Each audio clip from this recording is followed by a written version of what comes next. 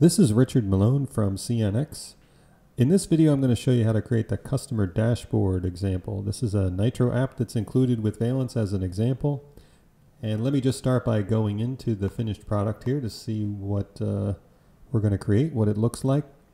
And you can see we have uh, customers on this dashboard are listed by their country. And over here on the, the list, we can see uh, the number of countries is in descending order. And we also have that in pie chart form here. I can click on one of these pies and see the detail. And the little map will come up here and we can see on the map where all the customers are on the map. I can click one of these markers and see the customer name. And over here we have what, were, what are called key performance indicators. This is a total number of customers for that country and total number of sales that we have in that country and uh, I can use this back button to go back and choose a different country. There's France, for example, and I can go back and I can also click on the grid. So I can either click on the pie or the grid. It does the same thing. Okay, there we go. So let me go out of here and we'll go into the Nitro App Builder and we'll, we'll create a second copy of this and I'll go through the whole process so you can see how it's done. So we'll launch the Nitro App Builder. Uh, just I want to just make a note here that when you go into this little uh, configure cogwheel here to see the existing examples that are included with Valence, you need to click this button, and then you can see data sources and widgets and app records that are part of our example set. Uh, but we let you turn that off so it doesn't interfere or uh, create messiness in your list of items. So the first thing we need to do for this app is to create a data source, and we're going to create a data source to get our top countries, customers, and the customer master file that we're going to use is demo cmast. That's a demo customer master file that we use a lot uh, for doing demos. And so that's the first step. We'll choose the file, demo cmast. We're only going to use this one file for this data source. So we don't have any file joins. Uh, when we go to columns, we were, are going to choose the country, and then we're also going to choose the count. All right, because we want to count the number of records by country. And we're also going to add a filter. We don't want to include any customer records that do not have a country assigned to them. So in the filters, we'll choose country and we'll say not equal to, and we can leave this blank to say country not equal to blank. And we'll go next. Group by is being selected for me automatically because I had a count field. So we're going to group by the country, and then we're going to order by the count in descending order because most importantly in my in my list or my grid that I'm going to show, I want to list the countries, the, the top number of countries first and then going down from there. So let's preview that data source. And this is what the data looks like. That looks correct to me. So we'll go ahead and save this data source. We'll put customer top countries. And I'm just going to put a tag of video. Putting tags helps you find these components as you create them. So you can put more than one tag on there if you want. But in this case, I'm just going to put the one tag and we'll save that. All right, so now we have a data source that will allow me to get the top countries. And remember, on our final product, we have a pie chart and we have a grid. So now is when we attach widgets to this data source. We'll create a widget and the first thing we want is a pie chart. And the data field for this pie chart is going to be my count. And then the label field is going to be the country. And as we start making choices here, we'll see the pie chart come in on the canvas with the data source uh, supplying the data for it. Now I want to limit the results. I'm going to limit the results to 10 so that I it, the pie chart looks nicer. And then I'm also going to go to the UI configuration here and I'm going to put a little donut hole effect in the center. I think that looks better. And then I'll also put some padding around the outside. You can see here that the country name gets cut off because the, the pie chart goes right to the edge of the canvas. So if we put some padding around the outside, there'll be enough room to show the names. Okay, there we go. I think that's all we need to do on this one. Uh, we could add filters or custom formatting, but we don't need to do that in this case, so we'll just go ahead and save that. and we'll put customers top 10 pie.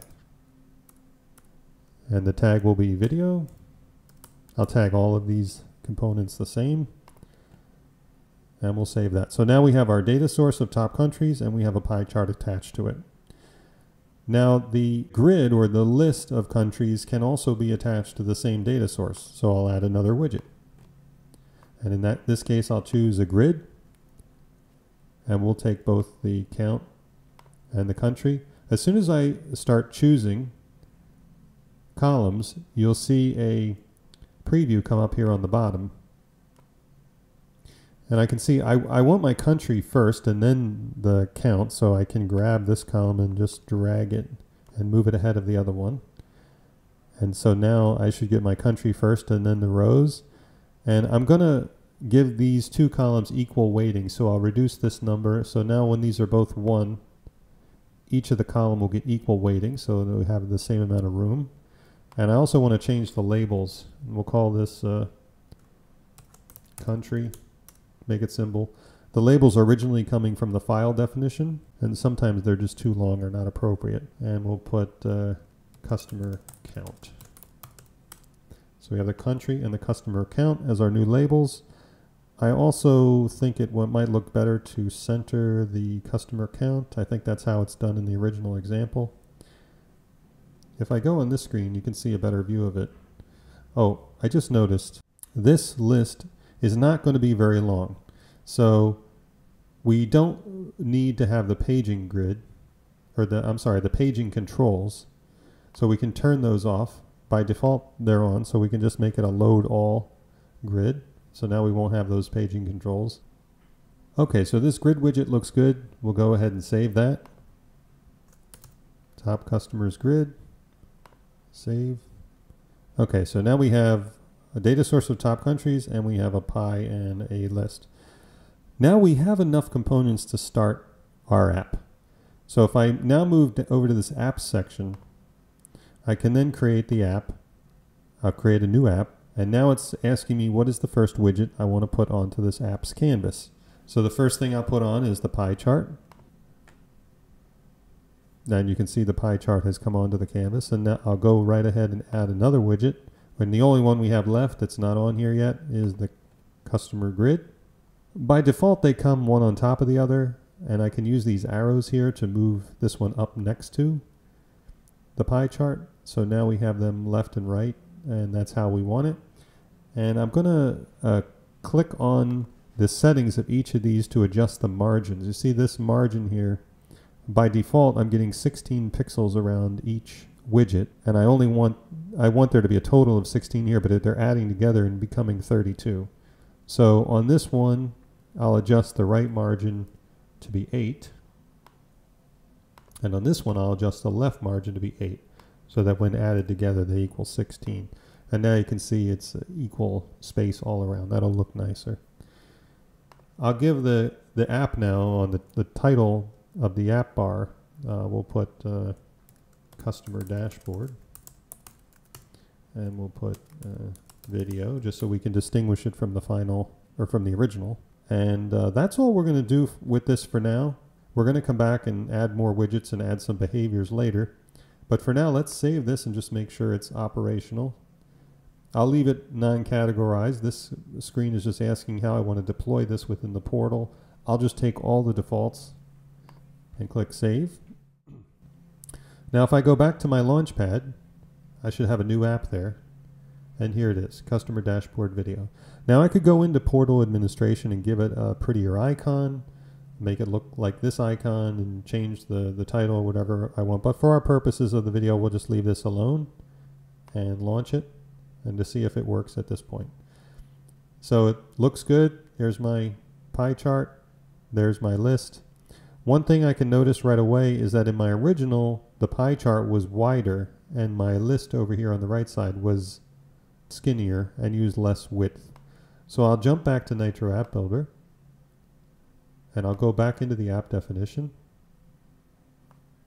and I'll adjust this widget to have more width. You can see when I move that to a flex of 2, it now gives a 2 weighting to the width of this widget and a 1 weighting of the width of this widget. So it works out to be sort of two-thirds of the screen gets the pie chart and one-third of the screen gets the list.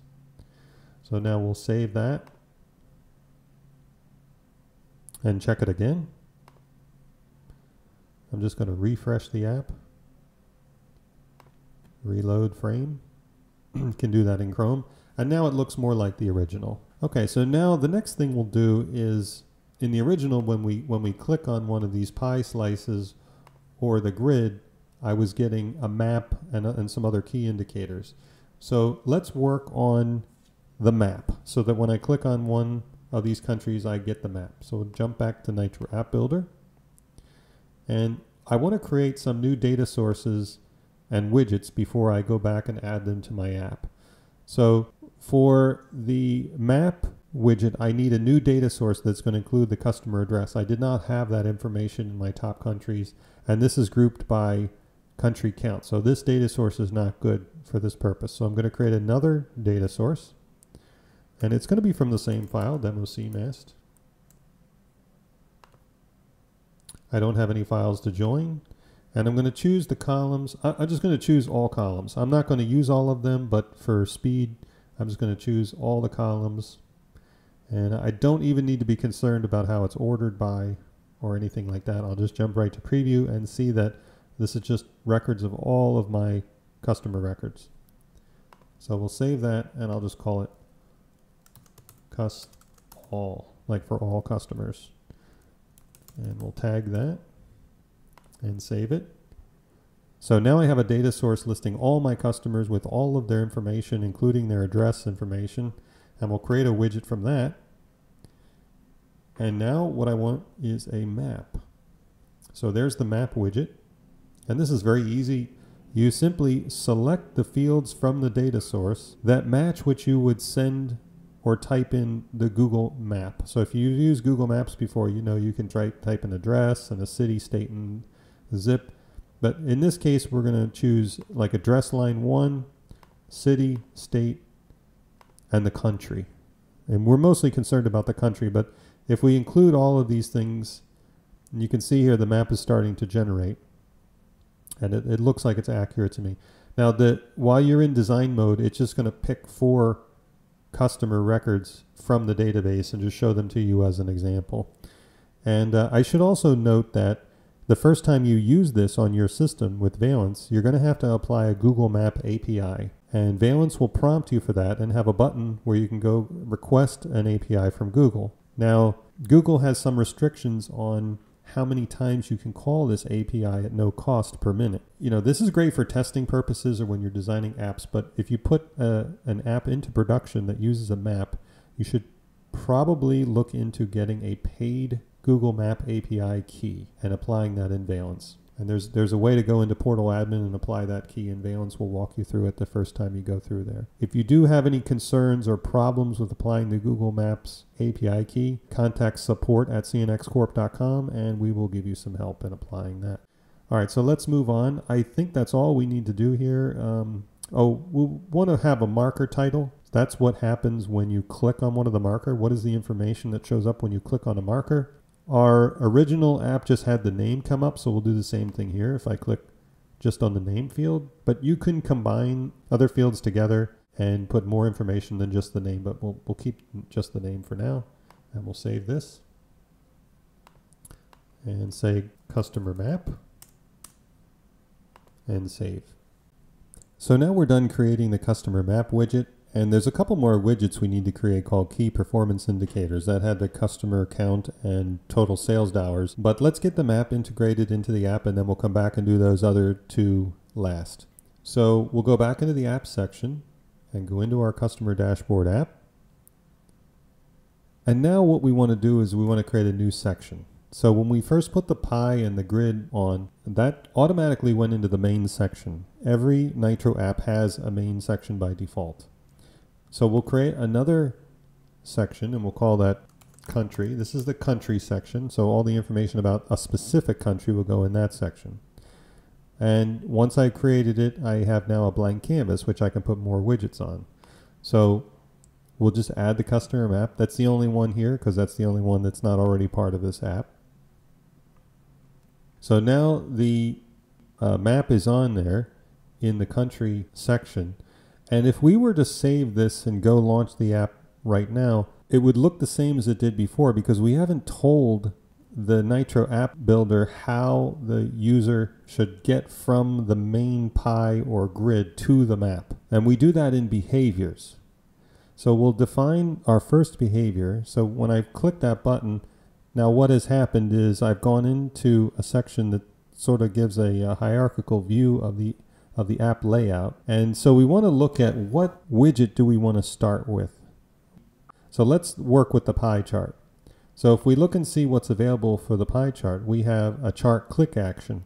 So here's where we can define what action is going to take place when the user clicks on a segment of the chart. So when I, when I go here, I can say, I want to filter another widget, meaning I want to feed what I've clicked on from one widget into another widget. So let's add an action for that. So when I click on the pie chart, I want to update the map. So I'm going to say we're going to update the map.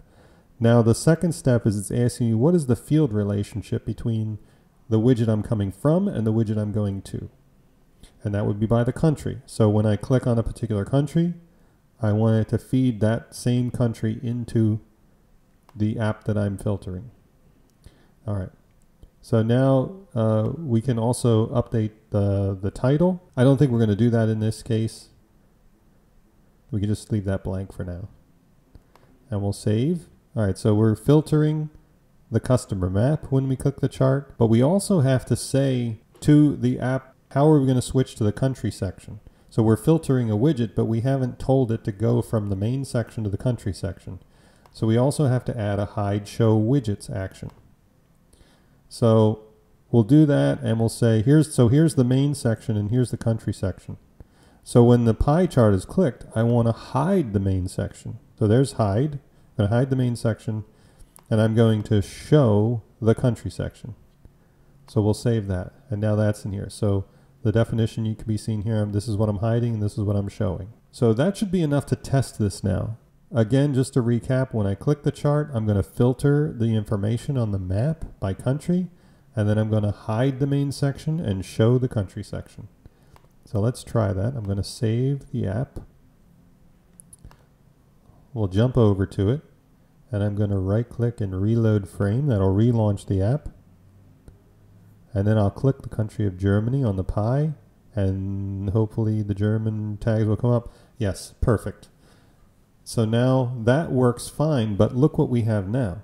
I've gotten to the map, but I have no way of getting back. So there's no control to get back. I have to add a button to this level to tell the Nitro App Builder that I want the user to be able to go back. So let's jump to Nitro App Builder and add that now. So we go into the app definition to do that in the behaviors. And we'll do that at the section level. So when the country section is being shown, I want to add a button on that section. And I want, I'm going to look for an icon that's appropriate. And I think the left arrow is most appropriate for that. That's what users are used to seeing to go back. And I don't even need any text on the button.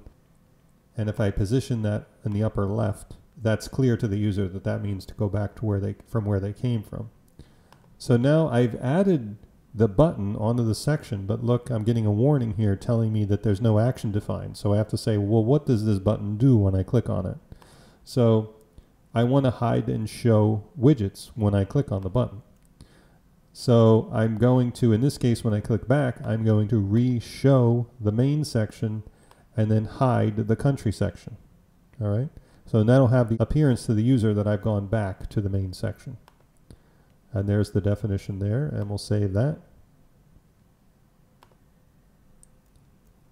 And let's retest the app again. I like to test the app in stages every time I add something. All right, so now we'll go, we'll go back to Germany again. And now here's my arrow. And when I click on the arrow, now I'm going back to the main section. Perfect. We'll go into another country and we can see that we can keep going back and forth now. Now, one of the things that the finished app does is it also applies those same actions over to the grid. So right now, see when I'm clicking on the grid, and nothing's happening. I'm not going to cover that in this video. It's the exact same process that I did to add those actions to the pie chart as to add them to the grid. So since it's the same thing, it's not really a value add to take the time to do that in the video, but just know that you can apply the same exact actions to the grid in your application. Okay, lastly, we're going to add the key performance indicators onto this screen. Um, right now, we're just showing the map. And just in case you forgot, I'm going to go back to the original app that we're trying to duplicate, which is this one here. And when I go into a country, you can see over here we have these things we call key performance indicators. So these are the two things we're going to create and we'll do we're going to do two new data sources one for each and we're going to do two widgets and then we'll incorporate those into the app. All right so I'll close this again. And we'll go back to Nitro App Builder and back to data sources and widgets. And let's create the data source for the customer count. And this is going to be an easy one. This is just going to be demo CMAST again and when I go to columns, I'm just going to choose the count and really nothing else. And I should get 210. There's 210 records in that file. So that's all I want from this data source. So I'm just going to save that straight away. And we'll just put cus count.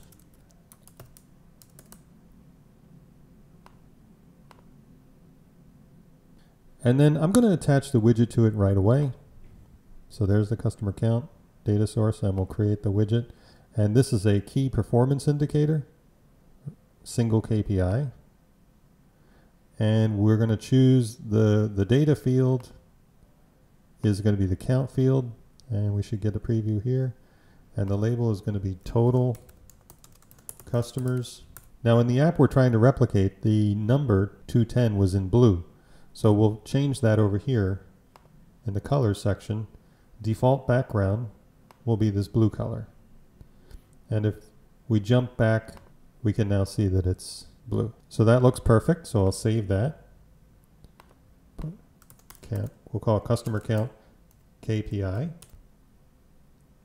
Save that. Okay, the final data source we're going to do for this app is for the total sales. And this one's going to be a little bit trickier with the data source. So we're going to do demo CMAST. That's the customer master file. And then we're also going to add, since we're trying to get total sales dollars, we have to get to the order file detail. And to get there, we need to also add the demo ord h file, which is the header file. And then there's also a detail file called demo ord d. And we're going to have to join these files together. Uh, the data we want's really in the detail file, but we have to join these three together to get down to that level. So let's go to the file joins. And our first mapping is going to be mapping the primary file of demo CMAST to the order header file. That's done by the customer number. So we'll define the relationship here. The from field and the to field will be from customer to customer. So there's the definition. And now we're also going to add a mapping to map the order number from the header file to the order number of the detail file. And there's our mapping there. And so we'll go next. And now the columns available are from all three files now. But I, I don't even want any of these columns by themselves. I want to create a calculated field. And the fields I'm going to use to calculate a field are the order quantity and the price. So I need to multiply the order quantity times the price to get the total dollars. So what I'll do is create a calculation field and I'm going to call it total. And we'll call it, this label will be uh, total sales. And then uh, the, this is where I'm going to specify the calculation, but I'm going to go find the fields that I want. Oh, I went by them. So it's the order quantity and the price. When I click on them, it'll come over here into this work area. And I want to use SQL syntax here to sum the order quantity times the price on all of the records that are selected. And that'll give me my total sales. So that's the total sales. Uh, that's the only column that I'm going to create is this calculated field. And when I preview that, I'm just going to get one total. Now we're going to later come through and filter this by country, but that's going to be done at the widget level. So this is all I need to do at the data source level. So we'll save that. Cust total sales, we'll call this.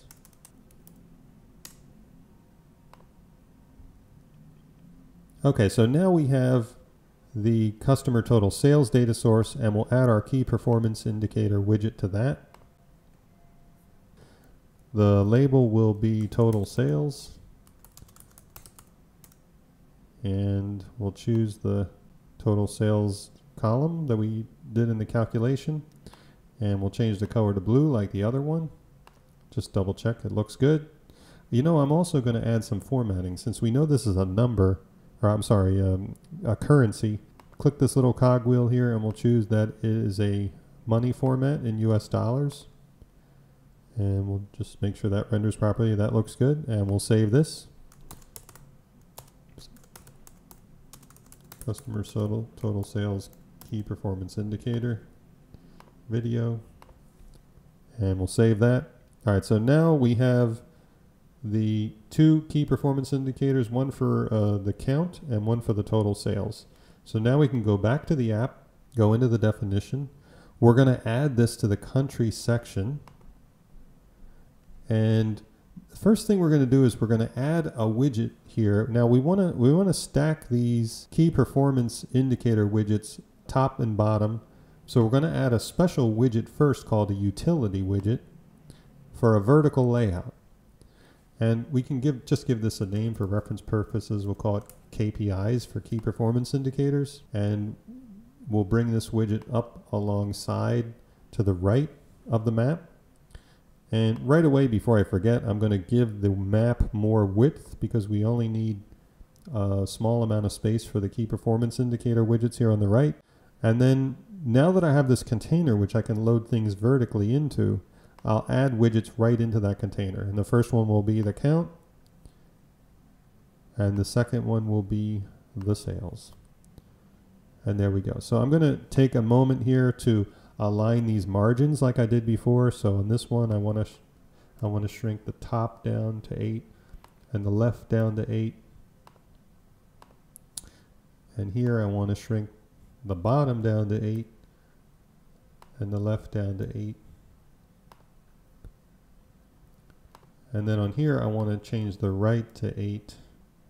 And now visually when this is all rendered we should have a consistent amount of width between all of the widgets and this looks good to me. I'm just going to uh, save this and we'll take a look at it just to make sure they're going on there.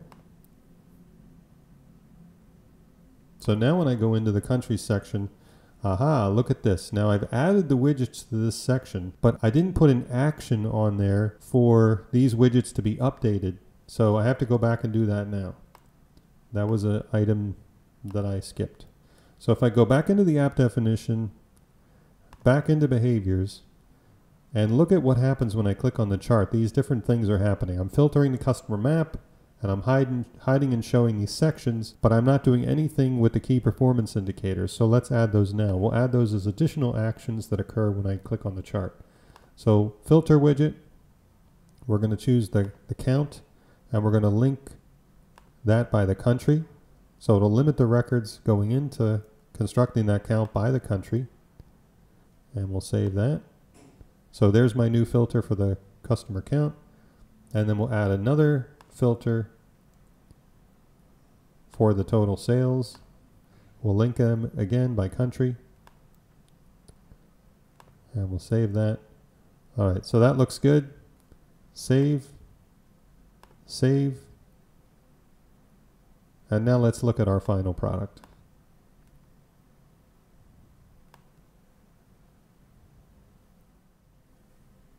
Click on a country, and now we're getting information over here. Perfect. We go back and choose a different one, it should update with different statistics. So from beginning to end, that's how you create the customer dashboard app in Valence. Thank you very much for watching.